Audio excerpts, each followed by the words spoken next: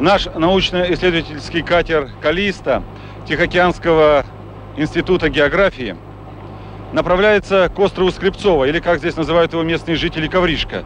Цель нашего рейса – проверить состояние моллюсков в этом районе. Почему?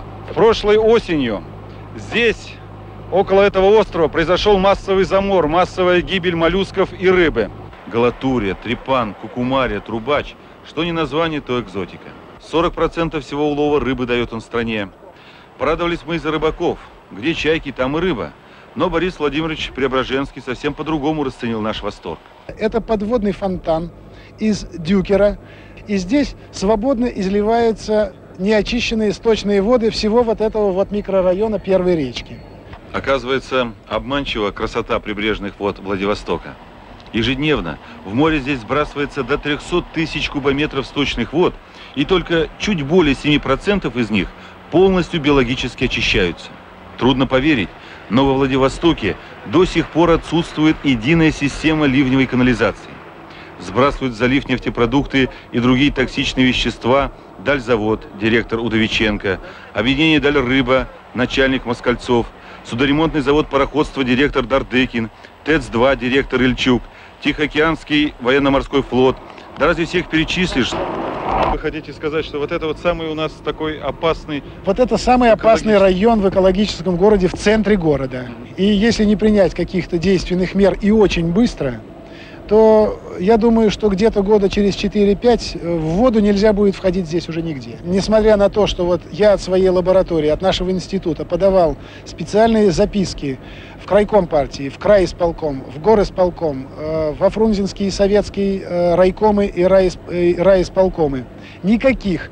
Во-первых, не поступило никакой ответной реакции. Вот сейчас наш катер подходит к цели нашего рейса, острову Скрипцово, где в прошлом году произошла массовая гибель рыбы и моллюсков.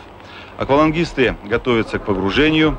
Катер стоит на границе зоны опасного загрязнения – Именно у этого острова сходятся неочищенные стоки океанского фанерного завода, от которого ущерба природе больше, чем прибыли от продукции, и реки Раздольной, воды которой отравлены сбросами уссурийского кожевенно-обувного комбината и сахарного завода. Олег, видите, чуть назад Борис Владимирович, ну что, как дела? Ну, в общем, видите, вот мертвые створки, устриц погибшие. Ну, судя по тому, что вот эти вот есть Это живые что? актинии, вот она, живая актиния, чувствует себя неплохо, но вообще это животное, которое трудно убить. Оно очень живучее. Звезды, я Звезды, они тоже животные, которые мигрируют. Ну, на данный момент, как там состояние? В общем, я бы назвал его в этом месте, оно удовлетворительное. Но все-таки естественное очищение произошло, и в принципе... Не, пожалуй, не очищение, а штормами загрязненную воду ведь уносит. И когда сносит верхний поверхностный слой загрязненной воды, то нижний слой выходит на поверхность. Немножко промывает. Конечно, это наше счастье, что у нас гидродинамика здесь все-таки э, позволяет заливу иногда самоочищаться с помощью э, ветров, течений. Заканчивается сегодняшний наш рейс.